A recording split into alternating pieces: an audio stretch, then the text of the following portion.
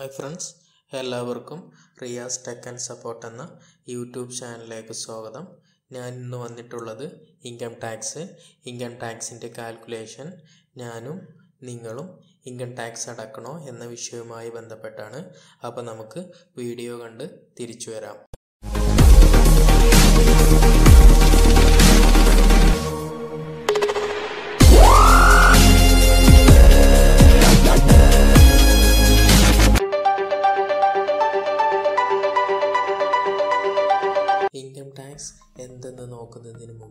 നമുക്ക് ടാക്സ് എന്താണെന്ന് നോക്കാം. ടാക്സ് എന്ന് പറയുന്നത് ഒരു രാജ്യം അതിന്റെ ചിലവുകൾക്കും അതിന്റെ ഡെവലപ്മെന്റ്സിനും വേണ്ടി ആ രാജ്യത്ത് താമസിക്കുന്ന ജനങ്ങളിൽ നിന്നും കമ്പനികളിൽ നിന്നും അവരുടെ വരുമാനത്തിന്റെ ഒരു നിശ്ചിത ശതമാനം കളക്ട് ചെയ്യുന്നതിനെയാണ് ടാക്സ് എന്ന് പറയുന്നത്. ടാക്സ് രണ്ട് തരത്തിലാണുള്ളത്. ഡയറക്റ്റ് ടാക്സ് രണ്ടാമത്തേത് ഇൻഡയറക്റ്റ് ടാക്സ്. ഡയറക്റ്റ് ടാക്സിന് ഉദാഹരണമാണ് ഇൻകം ടാക്സ്. ഇൻഡയറക്റ്റ് ടാക്സിന് ഉദാഹരണമാണ് ജി എസ് ടി. നമുക്ക് ഇൻകം ടാക്സിൽ ഇൻകത്തിന്റെ സോഴ്സുകൾ പലതരത്തിലാണ് വരുന്നത്. അത് ഏതെല്ലാമെന്ന് നോക്കാം. ആദ്യം വരുന്നത് income from house property income from salary income from capital gain income from business profit other sources എന്നീ അഞ്ച് കാറ്റഗറിയിലാണ് നമുക്ക് ഇൻകം വരുന്നത്. ഇതിൽ അഞ്ച് കാറ്റഗറിയിലും ഡിഫറെന്റ് ആയിട്ടുള്ള ടാക്സ് ഡിഡക്ഷൻസ് എല്ലാം നമുക്ക് വരുന്നുണ്ട്. അപ്പോൾ നമുക്ക് ഈ കാറ്റഗറിയിൽ ടോട്ടൽ ടാക്സ് മൈനസ് ഡിഡക്ഷൻ ഈ അഞ്ച് പാർട്ടിന്റെ സമ്മാണ് നമ്മുടെ ടോട്ടൽ ഇൻകമായി വരുന്നത്. ഇനി നമുക്ക് ഇൻകം ടാക്സിന്റെ കാൽക്കുലേഷൻ എങ്ങനെയാണെന്ന് നോക്കാം. ഇൻകം ടാക്സിന്റെ കാൽക്കുലേഷൻ വരുന്നത് നമ്മുടെ നെറ്റ് ടാക്സബിൾ ഇൻകത്തിന്റെ മുകളിലാണ്. ഓക്കെ അപ്പോൾ നെറ്റ് ടാക്സബിൾ ഇൻകം എന്ന് പറയുന്നത് gross taxable income minus all deductions all deductions എന്ന് പറയുന്നത് നമുക്ക് ഒരു വർഷത്തിൽ നമുക്ക് പലതരത്തിലുള്ള സോഴ്സസിൽ നിന്നും നമുക്ക് ഇൻകം ജനറേറ്റ് ആകും. അതിൽ നിന്ന് നമുക്ക് പലതരത്തിലുള്ള ഡിഡക്ഷൻസും ലഭിക്കുന്നതാണ്. ആ ഡിഡക്ഷൻസ് എല്ലാം മൈനസ് ചെയ്തതിന് ശേഷം വരുന്ന എല്ലാ സോഴ്സിന്റെയും തുകയാണ് നമ്മൾ നെറ്റ് ടാക്സബിൾ ഇൻകം എന്ന് പറയുന്നത്. അപ്പോൾ നമ്മൾ നെറ്റ് ടാക്സബിൾ ഇൻകത്തിന്റെ മുകളിലാണ് നമ്മൾ ടാക്സ് കാൽക്കുലേറ്റ് ചെയ്യേണ്ടത്. നമ്മുടെ നിലവിലുള്ള ഇൻകം ടാക്സിന്റെ സ്ലാബ് ഇങ്ങനെയാണ് വരുന്നത്. അപ്പോൾ ഇതിനനുസരിച്ചാണ് നമ്മളുടെ ഇൻകം കാൽക്കുലേറ്റ് ചെയ്യുന്നത്. ചെറിയ ഇൻകം ഉള്ള ആളുകൾക്ക് ചെറിയ ടാക്സും വലിയ ഇൻകമുള്ള ആളുകൾക്ക് വലിയ ടാക്സും ചാർജ് ചെയ്യുന്ന രീതിയിലാണ് നമ്മുടെ കാൽക്കുലേഷൻ സെറ്റ് ചെയ്തിട്ടുള്ളത്. ഇത് നമ്മൾ സിമ്പിളായിട്ട് പറഞ്ഞാൽ നമ്മുടെ ഇൻകത്തിന്റെ ആദ്യം വരുന്ന രണ്ട് ലക്ഷത്തി അമ്പതിനായിരത്തിന് നമുക്ക് ഒരു ടാക്സും അടയ്ക്കേണ്ടതില്ല. അടുത്ത രണ്ട് ലക്ഷത്തി അമ്പതിനായിരം ടു അഞ്ച് ലക്ഷം വരെ നമ്മൾ ഫൈവ് പെർസെന്റേജ് ടാക്സ് അടക്കണം.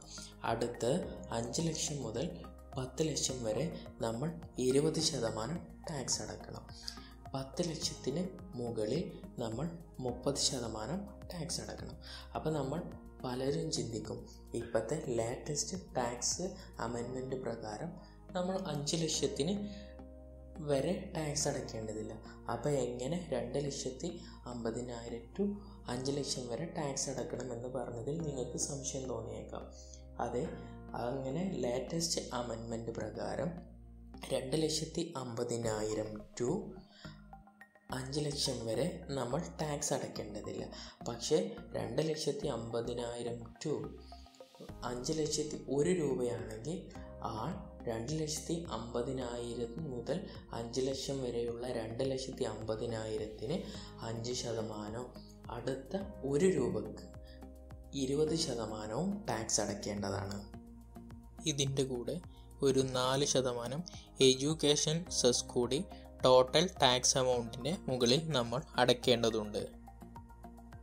നമുക്കിനി ഒരു എക്സാമ്പിളിലൂടെ ടോട്ടൽ ടാക്സബിൾ ഇൻകം എത്രയാണ് വരുന്നത് എന്ന് നോക്കാം. ഇവിടെ ടോട്ടൽ ഇൻകം വരുന്നത് നാല് ലക്ഷമാണ്. ടോട്ടൽ ഡിഡക്ഷൻസ് വരുന്നത് ഒരു ലക്ഷമാണ്.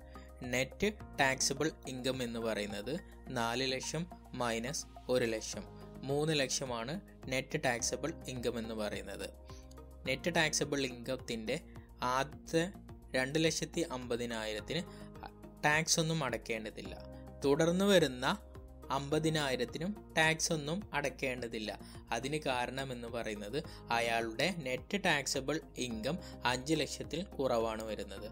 അപ്പോൾ ഒരാളുടെ ടാക്സ് ലയബിലിറ്റി എന്ന് പറയുന്നത് സീറോയാണ്.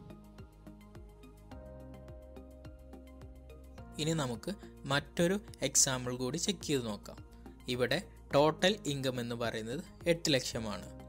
ടോട്ടൽ ഡിഡക്ഷൻ എന്ന് പറയുന്നത് ഒരു ലക്ഷമാണ്. അപ്പോൾ നെറ്റ് ടാക്സബിൾ ഇൻകം എന്ന് പറയുന്നത് എട്ട് ലക്ഷം മൈനസ് ഒരു ലക്ഷം. ഏഴ് ലക്ഷമാണ് നെറ്റ് ടാക്സബിൾ ഇൻകം അതിന്റെ ആദ്യം വരുന്ന രണ്ട് ലക്ഷത്തി അമ്പതിനായിരത്തിന് ടാക്സ് ഒന്നും അടയ്ക്കേണ്ടതില്ല. തുടർന്ന് വരുന്ന രണ്ട് ലക്ഷത്തി അമ്പതിനായിരത്തിന് അഞ്ച് ശതമാനം ടാക്സ് അടക്കണം അതായത് പന്ത്രണ്ടായിരത്തി അഞ്ഞൂറ്. അടുത്ത രണ്ട് ലക്ഷത്തിന് ഇരുപത് ശതമാനം ടാക്സ് അടക്കണം അതായത് നാൽപ്പതിനായിരം രൂപ. അപ്പോൾ ഇവിടെയുള്ള ടോട്ടൽ ടാക്സ് ലയബിലിറ്റി എന്ന് പറയുന്നത് പന്ത്രണ്ടായിരത്തി അഞ്ഞൂറ് പ്ലസ് നാൽപ്പതിനായിരം. അമ്പത്തിരണ്ടായിരത്തി അഞ്ഞൂറാണ് ഈ എക്സാമ്പിളിലെ ടോട്ടൽ ടാക്സ് ലയബിലിറ്റി ഇനി നമുക്ക് എപ്പോഴാണ് ഇൻകം ടാക്സ് അടയ്ക്കേണ്ടത് എന്ന് നോക്കാം. ഒരാളുടെ ടോട്ടൽ ടാക്സ് എമൗണ്ട് പതിനായിരത്തിൽ കൂടുതൽ വരികയാണെങ്കിൽ ടാക്സ് എമൗണ്ടിന്റെ പതിനഞ്ച് ശതമാനം ജൂൺ പതിനഞ്ചിന് മുമ്പായും നാൽപ്പത്തഞ്ച് ശതമാനം സെപ്റ്റംബർ പതിനഞ്ചിന് മുമ്പായും എഴുപത്തഞ്ച് ശതമാനം ഡിസംബർ പതിനഞ്ചിന് മുമ്പായും ബാക്കിയുള്ളവ മാർച്ച് പതിനഞ്ചിന് മുമ്പായും അടച്ചു തീർക്കണം. പക്ഷേ ഒരാളുടെ ടാക്സ് എമൗണ്ട് പതിനായിരത്തിൽ കുറവാണ് വരുന്നതെങ്കിൽ അടുത്ത ഫിനാൻഷ്യൽ ഇയർ ജൂലൈ മുപ്പത്തൊന്നിന് മുമ്പായി അടച്ചു തീർത്താൽ മതിയാകും.